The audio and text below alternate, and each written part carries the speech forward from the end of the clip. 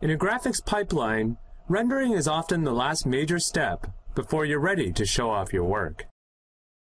Rendering allows you to greatly increase the fidelity of your working scene with effects such as shaders and materials. A material is the name we give to a shader whose settings mimic the appearance of real-life surfaces, particularly the way they react to light. Such details might include the color, shininess, smoothness, and many more. We can then apply these materials to our geometry to make the surfaces look more believable. As you can see, our guitar is currently shaded with a bland gray material. This is the material Maya applies to all objects by default. Let's start by differentiating the pickguard by making it white. Select the pickguard and open the attribute editor. Go to the Lambert 1 tab. Lambert refers to the type of shader currently applied to the object. Change the color to a light shade of gray.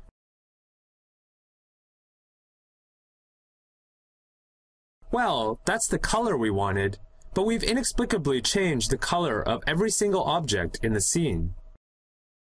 This is because everything is sharing the default shader right now. In general, we should avoid changing the default shader. We'll do this by making a new shader for our pickguard. Undo the previous step. Select the pickguard, hold the right mouse button over it, and select Assign New Material from the menu that appears. Maya displays the Assign New Material window. From here, we can assign various different shader types, each with their specific attributes and uses. Select Lambert to create a new Lambert shader. Change the color to the same tone of gray as before. Now rename the material to Pickguard Matte. You now have your first material. Now let's create a material for the metal portions of the guitar. Select the input jack and assign another new material.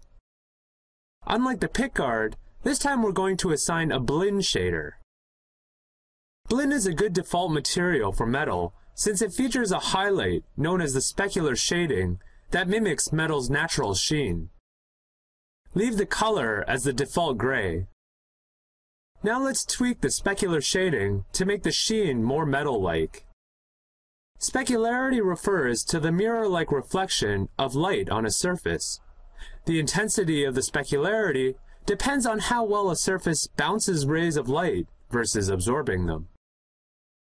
Set the specular color to a light shade of gray. Notice the swatch changes to reflect your current settings. You can play with the eccentricity, specular roll-off, and reflectivity to change the shininess of the metal. The eccentricity affects the highlight of your material. The lower it is, the more intensely focused the highlight will be. The reflectivity and specular roll-off control how much of the environment will be reflected in the material. High reflectivity and roll-off means other objects will reflect cleanly in it in all directions.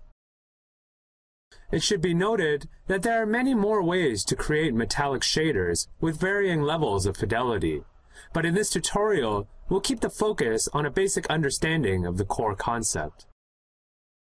Rename this Blinn material to Metal Matte. Now select every other piece of the guitar that should be metal.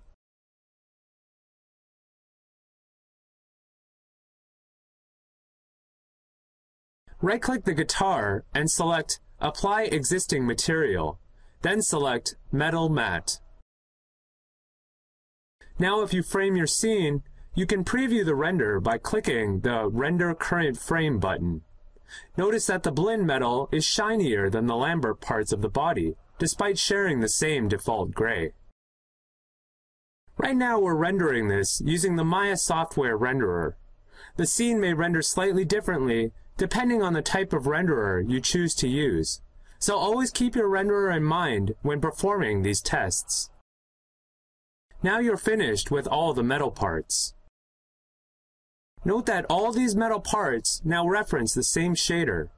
If you wanted to change the look of the metal, you can simply select any one of these parts, make your changes, and those changes will be applied to all the metal parts at once.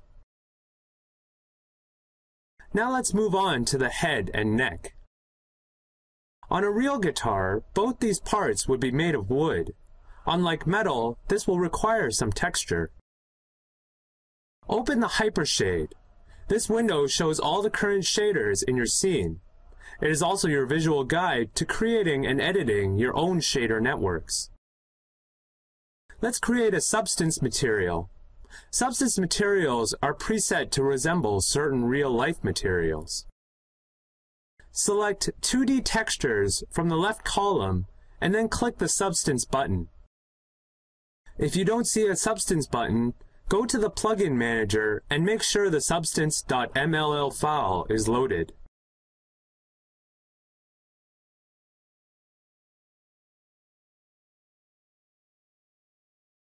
A tile appears in the work area region of the Hypershade. The work area is the area where we can work with our shaders, creating inputs and outputs for them. You'll see an example of this in a moment. Now in the Attribute Editor, Click the folder icon next to Substance File. We're going to load a preset that resembles wood. Navigate the Substance folder and select the Light Wood file. You can also find this file, along with various other substances, in the Maya local install directory. Now the swatch updates to a nice wood material. In order to actually make this substance material usable, we need to create the associated shader network. Click the Create Shader Network button. In the work area of the Hypershade, notice that the single tile suddenly turns into a complex network of different tiles. This is called a shader network. Each arrow represents a connection in which certain attributes are driven by attributes of another tile. We'll look at this in more depth in the next video. For now, click the green tile and rename the shader to Wood Matte. Now apply the wood material to the head and neck.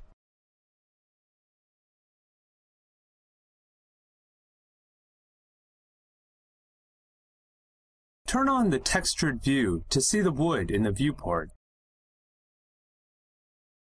And click the Render Current Frame button to see what it looks like rendered. Although they look pretty close, you'll notice that the rendered version looks a little more polished. In general, the limitations of the viewport will often result in differences between it and your final render. In the Hypershade, Hold the right mouse button over Wood Mat and select Graph Network to view the substance materials shader network. By selecting the substance tile in the Hypershade, we can adjust some of the wood's properties in the Substance Parameters section of the Attribute Editor. Let's lower the depth to negative 1 and the normal to 0.1 so that the grains aren't quite so deep.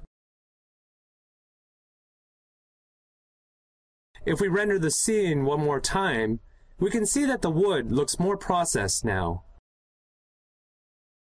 In the next video, we'll give the body some life with a dazzling paint job.